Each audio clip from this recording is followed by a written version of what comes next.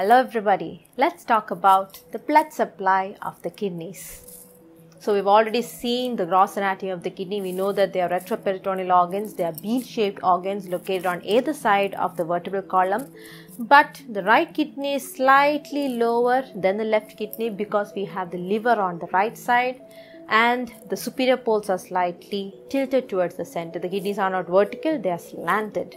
Let's talk about the blood supply. So, the main vessel supplying the kidney is, of course, the abdominal aorta, and the branches which supply the kidney are called the renal arteries. So, there you have it. Alright, and all the blood which is given comes out from the kidneys, comes out through the renal veins, and eventually they drain into the inferior vena cava. But when you learn about the blood supply, there are different hierarchies of vessels which we need to know in detail. So let's see the arteries for now. The renal arteries, which are the branches from the abdominal aorta, immediately divide into segmental arteries. So the renal artery, segmental artery, you can learn, I learned by drawing an algorithm of these arteries or a flow chart, right? So renal artery, segmental arteries. Let us look at the segmental artery from the hilum okay for that we'll have to turn the kidney around and look at it from the medial side. Now you're holding the kidney in front of you.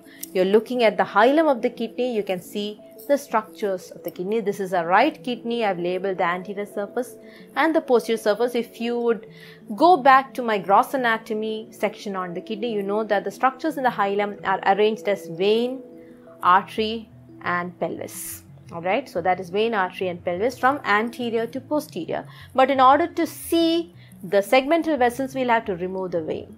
Alright, so we'll do that.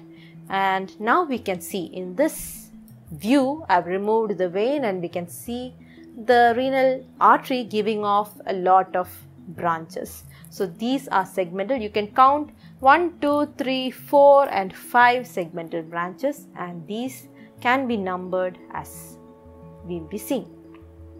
So there is one segmental branch supplying the apex of the kidney. That segment is called the apical segment and the branch is called the apical branch. The second supplies the anterosuperior segment and it is called the anterosuperior branch.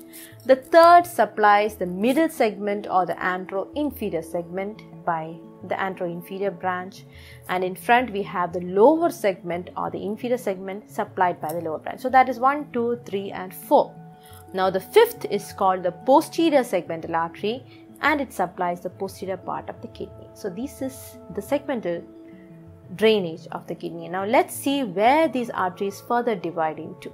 Okay, so we have taken a section that is our renal artery and now we have the five segmental arteries. You can see four of them and maybe the five a little bit to the lower side, okay, behind them. So that is a posterior one.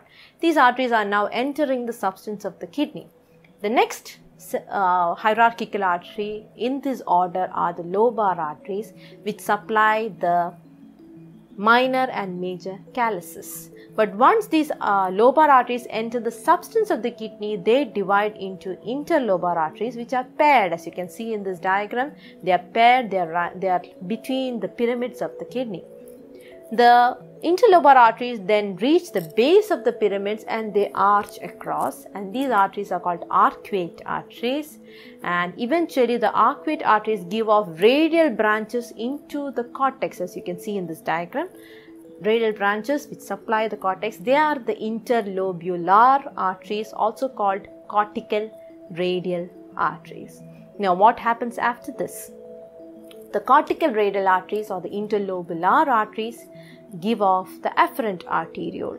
And now to look at that, we have to highlight that small section over there. Let us zoom in and let's see what is happening. There you have the cortical radial arteries. This is a schematic diagram and we label them once more. So that is the cortex. Here you have the medulla and between the substance of the medulla you have the interlobar arteries which then divide into arcuate arteries along the base of the medulla and then they give off the interlobular arteries also called cortical radial arteries and when you zoom in further you can see that the cortical radial arteries give off the afferent arterioles. So interlobular afferent arterioles. Afferent arterioles form the glomerulus and then they come out as the efferent arterioles which then redivide around the loop of the Henle to form the peritubular vessels, also called vasa rectae of the countercurrent system.